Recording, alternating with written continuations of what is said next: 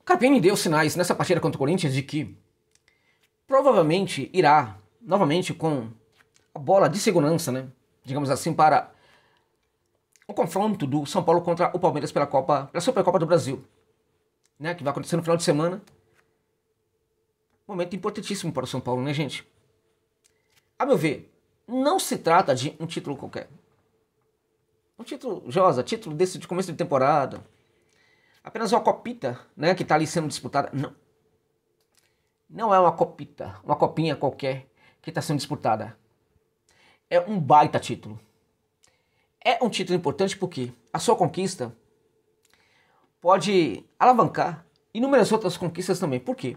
Porque essa conquista sobre um rival poderosíssimo, poderosíssimo que é o Verdão, num bom momento aí já há um certo tempo, né?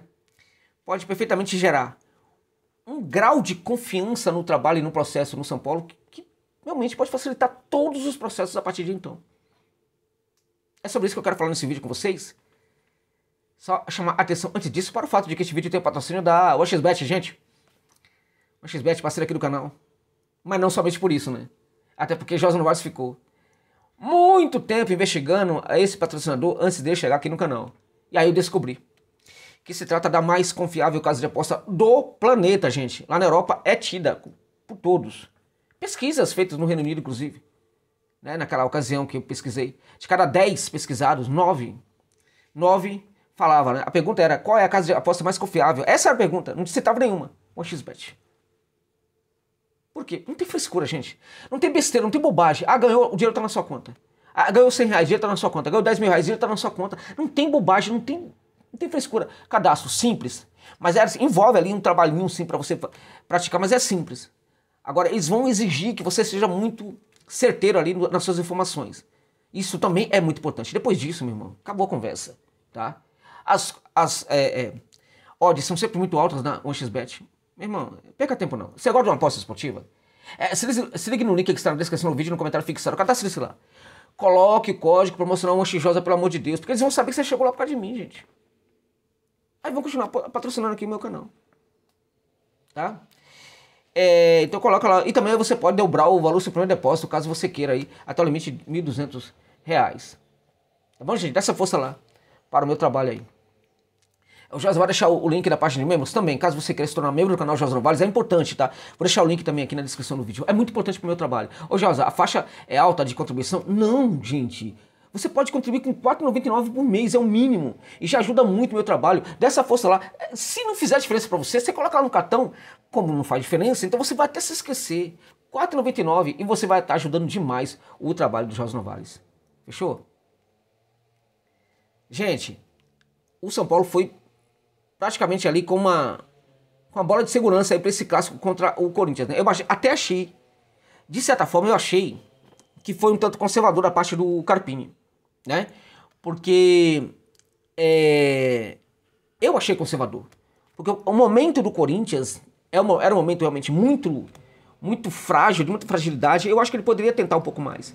Eu fico pensando nas testagens que ele fez até agora, todos os testes que ele praticou até agora, e na hora H de um jogo importante, até que serviria como teste para o próprio jogo, próximo jogo aí uh, da Supercopa, ele foi com a bola de segurança do Dorival, o time do Dorival, né?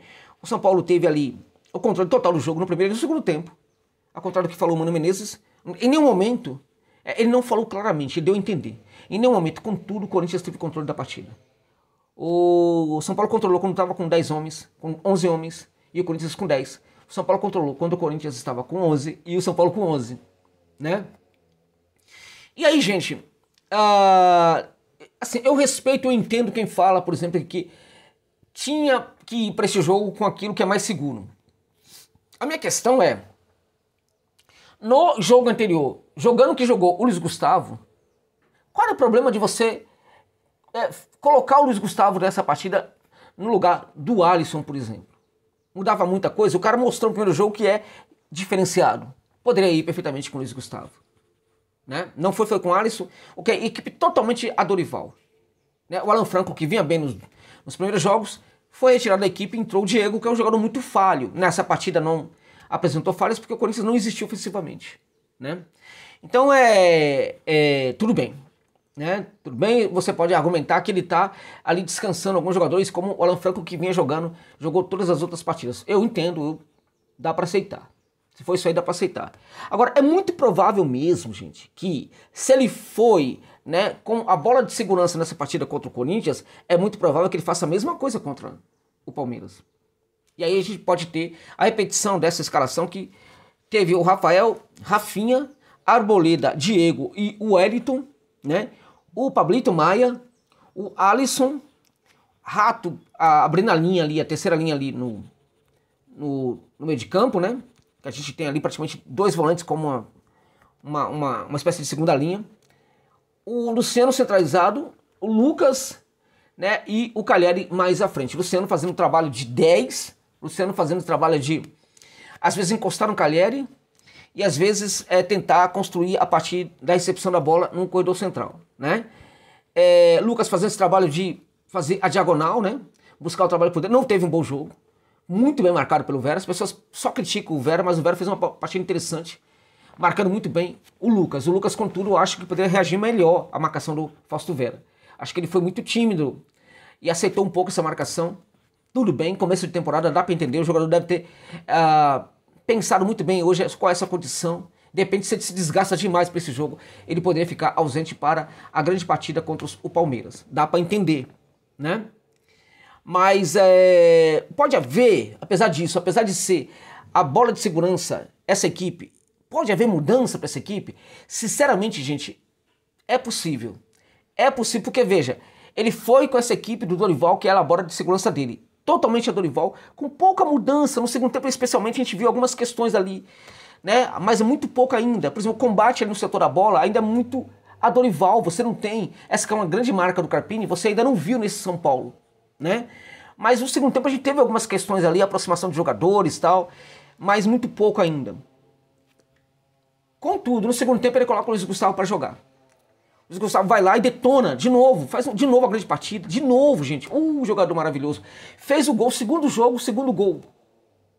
Não tem como. É muito provável que nem o, que a, mesmo o Carpini é, considere que neste momento possa colocar o Luiz Gustavo para jogar. Tá? Ele pode considerar. Agora, se empatar, se ele ficar pensando, mas a importância de colocar o Alisson, que aí você tem a mesma equipe, e o Luiz Gustavo tal, neste momento na cabeça dele, se ele pensar assim, tá empatado. Se empatar, ele, ele vai com o Alisson. Se ele considerar que o Luiz Gustavo realmente pode ser um benefício maior para a equipe, não aí no mesmo, gerar o mesmo benefício que o Alisson, ele vai com o Luiz Gustavo. Do contrário, se ele imaginar que as coisas são mais ou menos semelhantes, São Paulo pode ganhar tanto com um ou com outro, ele vai com o Alisson. É assim que deve acontecer na próxima partida. Mudança, eu acho que não vai haver na zaga. Ali eu acho que realmente é, a presença do Diego deve, deve, deve ser mantida, né? Uh, e o Alan Franco não vai jogar. O Alan Franco estava bem, né? Mas eu acho que o Alan Franco não entra para esse jogo. Vou ficar extremamente surpreso se ele for com o Alan Franco. Uh, sabemos já que o Lucas está embora do São Paulo praticamente, né? É, Lucas não, né? O, o Rames, né? Nessa, nessa de vai, não vai, não vai, vai, ele acabar, vai acabar indo embora do São Paulo. E se não for embora do São Paulo, tampouco será usado nessa partida e em outras partidas. O Carpini está sim fugindo dessa solução aí, que é o encaixe do Lucas nessa equipe, né? Uh, e conta hoje já com a simpatia de muita gente que acha que, ele tá, que, que o Rames é, é, todo o problema. Todo o problema é o Rames, né? Eu só queria saber por que, que esse cara consegue praticar ações diferentes no, no, time da Colômbia, né? E não somente é, aquilo que as pessoas acham que ele pode fazer no São Paulo. No São Paulo todo mundo acha o, o Rames como um jogador estático, que não tem mobilidade, que só consegue praticar algumas funções específicas e que o time inteiro tem que se adequar ao Rames. Não é isso que acontece na Colômbia. Eu queria que as pessoas me explicassem justamente esse paradoxo. Por que na Colômbia é diferente? Então eu acho que tem uma narrativa aí sendo criada para é, detonar a imagem do Rames Rodrigues. Ele não é santo, ele não é, ele não se ajuda também, mas eu acho que estão exagerando com essa parada aí do Rames Rodrigues. Estão é, buscando sempre o mais fácil, né? O mais fácil é não tentar encarar o problema Rames Rodrigues, que poderia se tornar uma bela solução para o São Paulo. Neste momento, contudo, acho até que pensando nessa final contra o Palmeiras aí, não. Não pode ser o Rames neste momento, tá? Então possível que a equipe vá sim com esse time aí, né? Ah, o Wellington Rato que jogou muita bola, jogador muito precioso, lançamento precioso, o lançamento, lançamento dele foi um negócio espetacular, né? Uh, Lucas, o Cagliari, o Cagliari, é aquele, o Cagliari é o cara, né? De novo, grande partida do Cagliari. De novo respondendo quando a equipe do São Paulo precisa dele. Então eu acho, gente, que a equipe para jogar contra o Palmeiras é essa equipe mesmo. O Carpini irá, de novo, apostar na bola de segurança, indo com essa equipe. E se houver alguma modificação, certamente vai ser o Luiz Gustavo no lugar. Não, Luiz Gustavo não. Vai ser o não, vai ser o Luiz Gustavo no lugar do Alisson. Se houver alguma modificação na defesa, na minha opinião, não terá modificação nenhuma. Vai ser justamente essa primeira linha aí e seja lá o que Deus quiser nessa final contra o Palmeiras, que para mim, gente, não é uma final qualquer, é uma final de campeonato mundial. Se o Palmeiras é, é, ganhar, vai ficar mais ou menos tudo bem com a temporada do Palmeiras. Se o São Paulo ganha, não vai ficar tudo bem. Pode ficar excelente. Por quê? Porque pode facilitar todo o trabalho do novo técnico e também gerar uma confiança absurda dentre os próprios jogadores do São Paulo para essa temporada de 2024, tá bom, gente? Então é isso. Graças aí, muito obrigado pra gente ficar comigo neste longo vídeo aqui até o final.